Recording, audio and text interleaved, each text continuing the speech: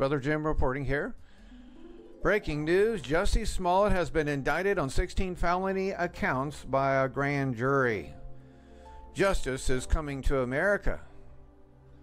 Thanks to Donald Trump, a Cook County grand jury returned a 16 count indictment against Jussie Smollett, according to court records.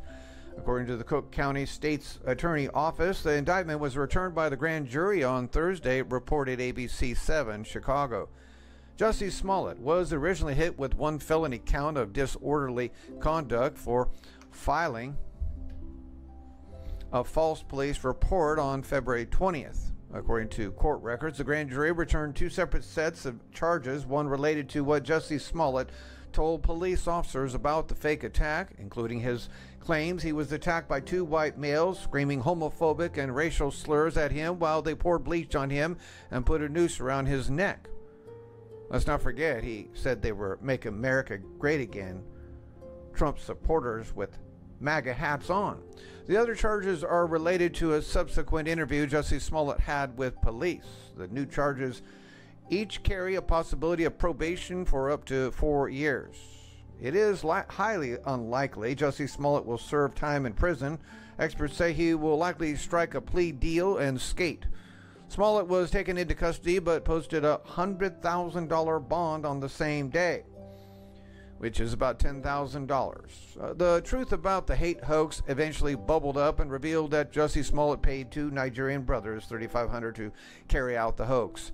Smollett is also behind the threatening letter that was sent to the Empire Studio in Chicago. The letter is still with the FBI at a crime lab for analysis. Smollett could face federal charges for lying to the feds about that fake letter as well. Despite all of this evidence, Jussie Smollett maintains he's innocent of the charges. It's what liberals do. We're always innocent. It doesn't matter how much evidence, what video you have on us, just like the guy in Berkeley who attacked the conservative make uh, Trump supporter. He pled guilty as well, even though there's a plain to see video of him beating up. Uh, I think his name was Michael Hayden. I'm not sure. And then he reports to court with an in, uh, pleading innocent, not guilty.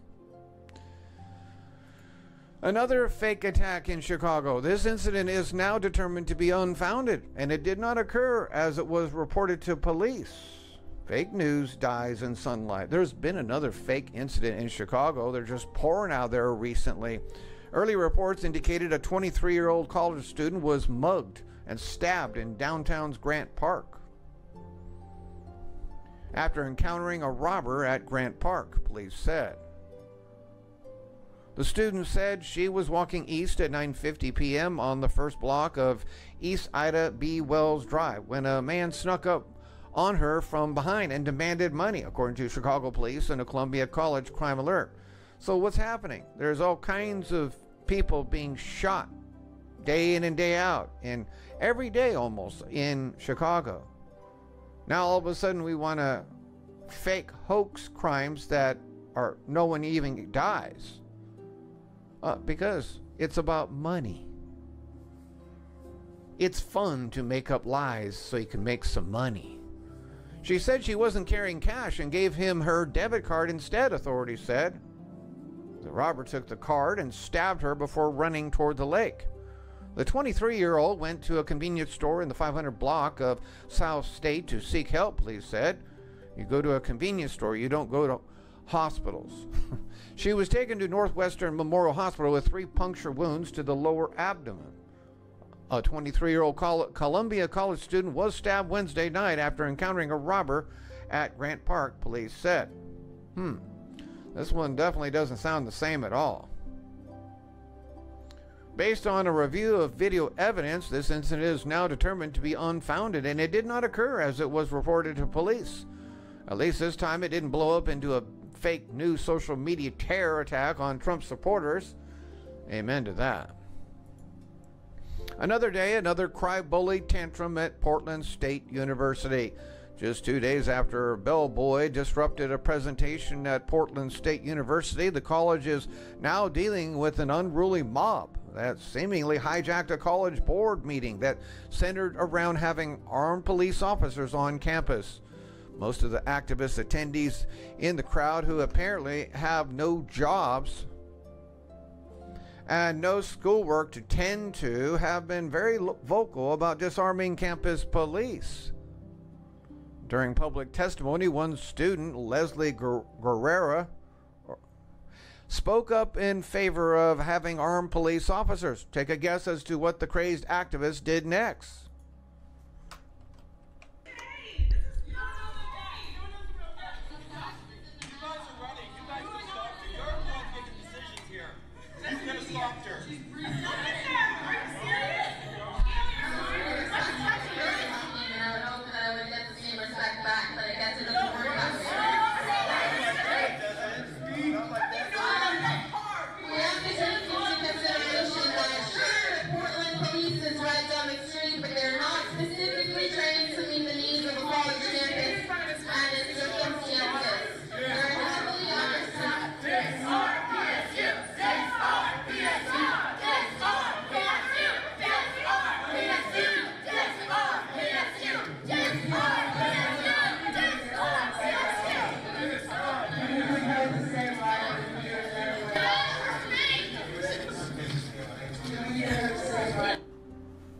Crying over here? oh, there you go. The Portland Antifa activists that are no longer on the streets beating up people got their ladies in the in the uh, school board meeting doing their job there. You know, like a Rashida Tlaib. Yeah, they're all brainwashed. What did the Board of Trustees and Campus Security do about this tantrum? Disarm the police. We want a wild riot. They practiced their butt sitting and selective disregardation skills by allowing the mob to shout down and intimidate the students, effectively preventing her from being able to speak her mind. They even physically took the microphone and took her notes away from her. The mob was led by student activist Olivia Pace, who has been involved several disruptions and protests on campus over the past few years, even targeting LGBT students. Also testifying against armed police was Andre Washington, the brother of Jason Washington, who was shot and killed by campus officers last summer in the middle of a street brawl. Andre is the one in the white shirt uh, getting in Guerra's face and literally taking the microphone. Portland State University Board of Trustees held a special meeting Thursday to discuss the findings from a recent campus safety report. The, newly, the new report was written in response to the shooting death of Jason Washington, who was killed by Portland State University police after they responded to a bar fight in June of last year. At Thursday's meeting, the board first heard from the consultants who made the report and compiled a list of recommendations for the college. University of Cincinnati.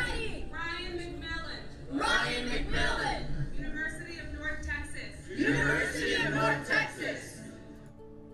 I am so glad I don't live there.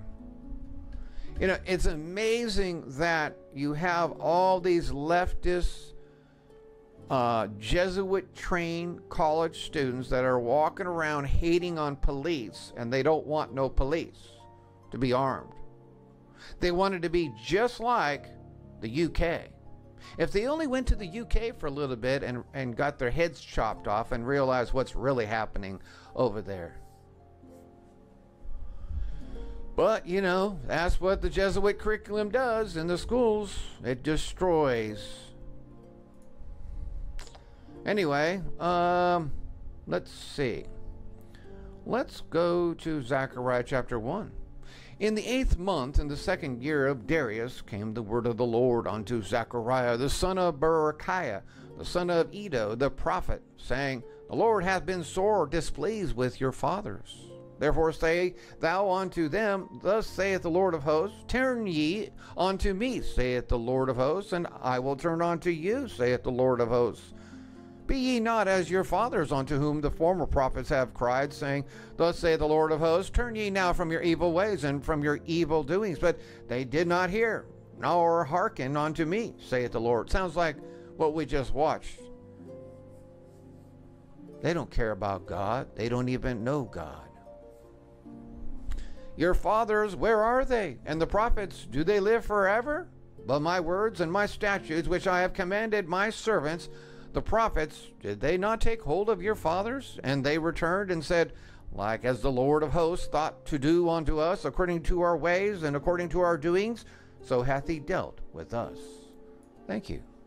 Let me be serious with you. I would rather that you donate to my ministry directly.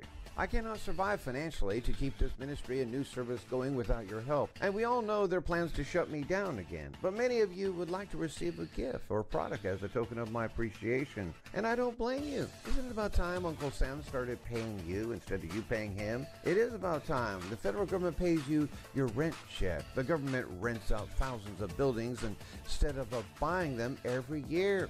This is all funded by the current $11.1 billion building fund in our budget. Get your free federal rent check today. Sign up with the Federal Millionaire information here down below.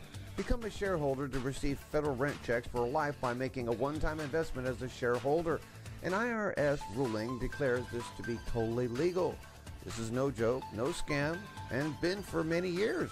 The longer your name is on the distribution list, the larger your federal rent check grows. As inflation rises along with real estate, the government pays you more every year. Starting out as little as $1,800 a month would be your rent check. Wouldn't that be nice to receive every month a rent check like that? The federal government continues to raise your income as inflation rises. This puts an end to retiring with a fixed income that leaves you going broke as you get older. This will put a major dent in those people who hate their home taxes going up every year, wouldn't it?